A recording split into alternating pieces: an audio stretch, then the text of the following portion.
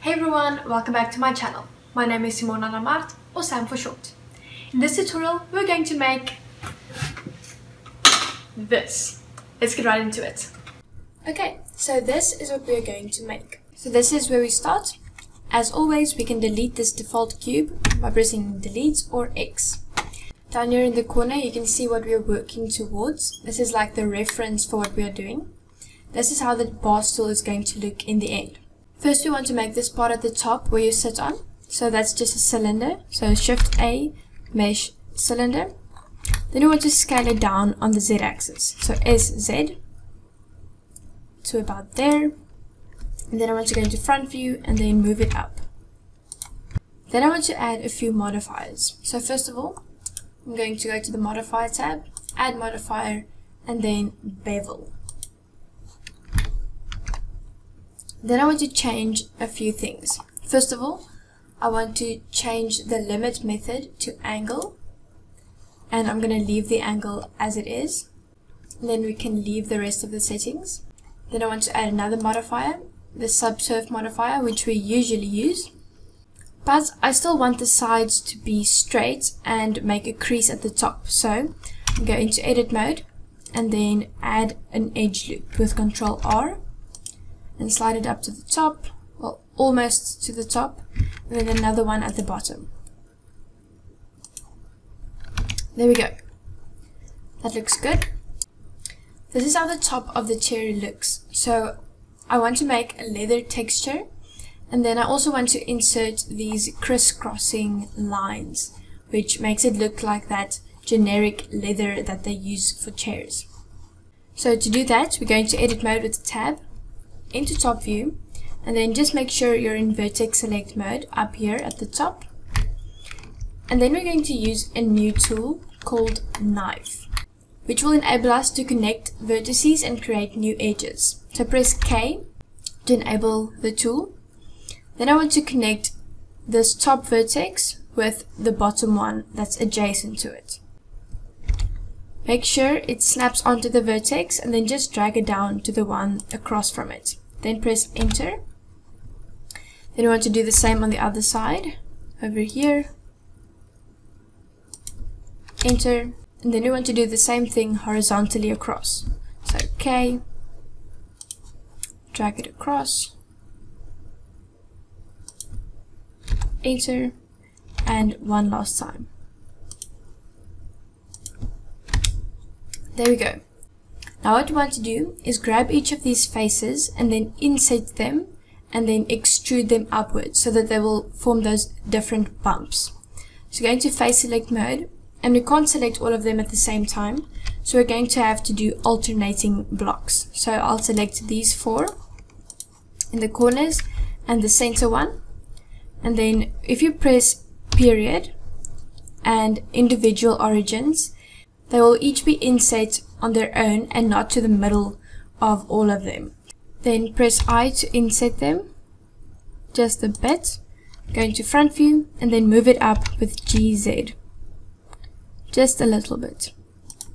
Then I want to do it with the remaining squares, inset, and then move it up with GZ. There we go. If you now go out of edit mode, you can see that these squares look pretty good. Now if we just add one more subdivision to the subsurf modifier, it looks good to me. Later on, we are going to add the leather material to it. But for now, we're going to make the bottom of the chair first. So, add a cylinder, shift A, mesh, cylinder. Then I want to scale it on all of the axes except the Z axis. So S for scale and then shift Z like that and then move it up. Then I want to scale it a bit on the Z axis and then just make it press into the top of the chair a little bit. Then I want to go into edit mode and go to vertex select again. Then I want to select this bottom ring by clicking on one of the vertices, then pressing alt and then selecting it. Then I want to extrude it down. E, Z, and then scale it. so that it spreads out like that until it's about the same width as the top of the chair. And then I want to extrude it once more, but just a little bit and directly down this time. Just like that. Then we can go out of edit mode and that part is finished. Then we want to make this thing that you usually put your feet on at the bottom. So to do that, we want to add another cylinder. So Shift A, Mesh, Cylinder. And then once again, we scale it on all of the axes except the Z axis. So S, Shift Z. Until it's even thinner than the chair's bottom. Then I want to rotate it 90 degrees, so R90 until it's horizontal. And then I want to go into top view and then add a modifier to it, which is called the mirror modifier. And then make sure you are mirroring it on the Z axis and not the X axis. Then we can go into edit mode and move it to the left until they are not touching.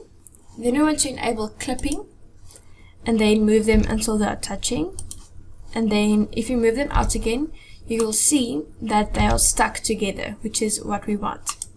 Then you want to move this part at the front upwards so, so that it makes an angle. So go into wireframe mode with Z wireframe and then just drag and select that part and then move it up with GY. Just like that. And then we can move this part in a bit. Then I want to extrude and rotate it until they meet up again on this side. So extrude, move it, and rotate it. Then once again, extrude, move, and rotate.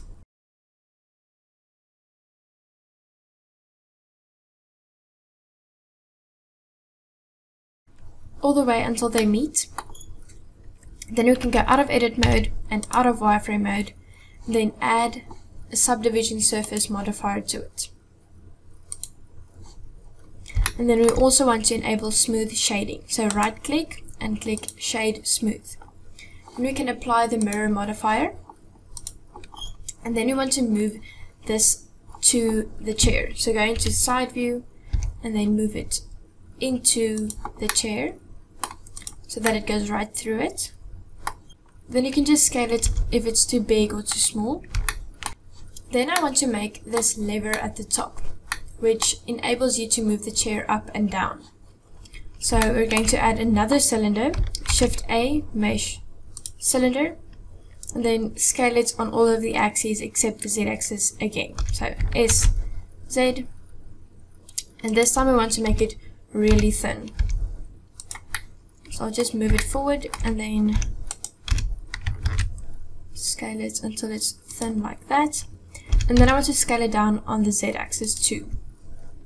Then we can go into front view and move it up to here and then and then rotate it to about 45 degrees and move it into that little corner. Then we just want to move it to the bottom of the chair. Like that. Now I want to make this plastic lever. So that's really easy. All you need to do is add a cube. So shift A, mesh, cube. And I'm just going to move it to the side here. Then you want to go into edit mode and wireframe mode. And then every time you select one of these vertices, you have to drag and select it to select both at the same time. So these top two, we want to scale in like that. And then we want to add a loop cut through the middle here. So control R add the loop cut. And then we want to drag these two vertices out on the Z axis. Then we want to scale the whole thing in on the Y axis and then add a subdivision surface modifier to it I'm going to add two subdivisions And then we want to make sure that the sides are flat and not rounded in like this.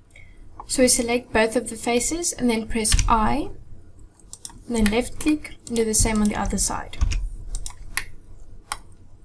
Okay, and we can go out of edit mode and then move it to the chair. So go into top view, rotate it 90 degrees, and then move it to the left, scale it down, rotate it, and move it onto that lever.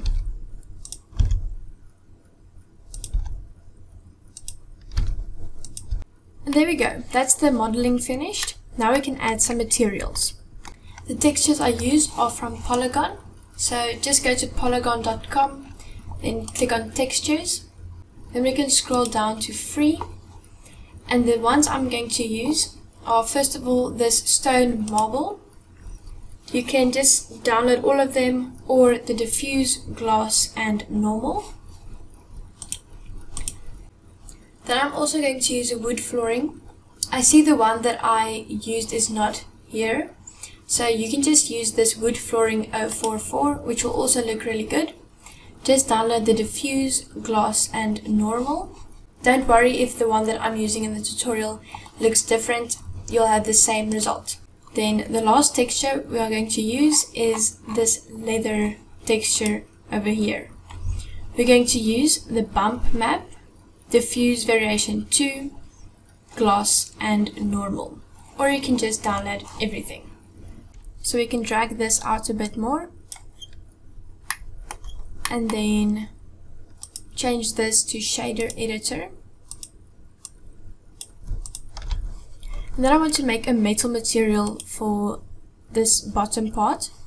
So go to the materials tab, click on new, and I want to name this metal. Then we can scroll in here and turn the metallic up to 100%. And then we can go into rendered view with said rendered and just make sure you're in cycles render engine right here. And your lamp might be a little weak, so just change it to sun lamp and then I put my strength on 2. So now we just want to change the color of this metal so I'm going to make it a little bit more gray. And I'm going to make the roughness a lot less. I'm dragging it down to about 0.141. And then I also want to drag the specular up to 1. then I want to use the same material for this bottom part. So go to the materials tab and then go to this drop down and select your material. And the same for this top cylinder here. Then I want to make a new material for the plastic lever. So click new and then I'm going to make it a black color, almost completely black. And then I'll leave it just like that. Now I want to make the leather top of this. I'm going to use the Poliigon textures that I showed you previously. So let's just add new material to this chair and then find the files where you downloaded it. Then I want to select color map. You have these three options. I'm going to use the middle one, which is the darkest of the three. And then I'm going to connect the color to the base color. Just like that. Now I want to add the maps. But before we can do that, we need to unwrap this mesh. So go into edit mode and press A to select all of the vertices. Right click and UV unwrap faces and then unwrap. And down here you can see how this unwrapped mesh looks. Then we want to add the maps. So the first one we want to add is the normal map. So just drag that in and connect color to normal.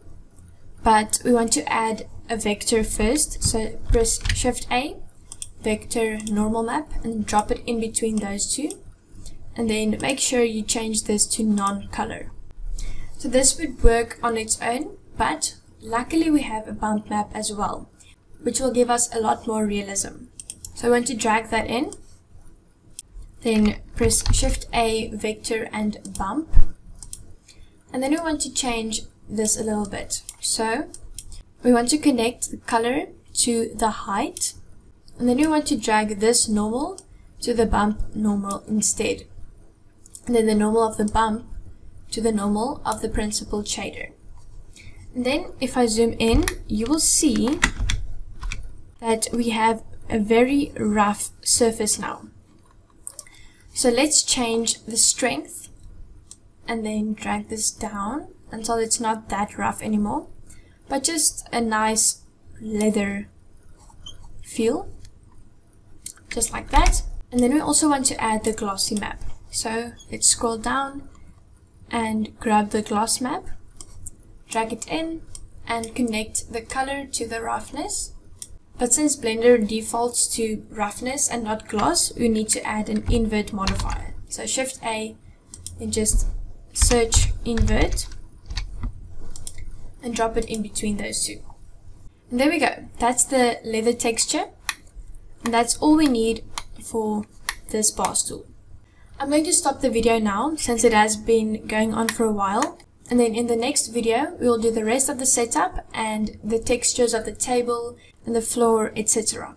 So then I'll see you next week for that. Thank you so much for watching this tutorial. Next week, we're going to do the rest of the setup and create the whole scene. If you enjoyed this video, please leave a like, subscribe to my channel and leave a comment down below.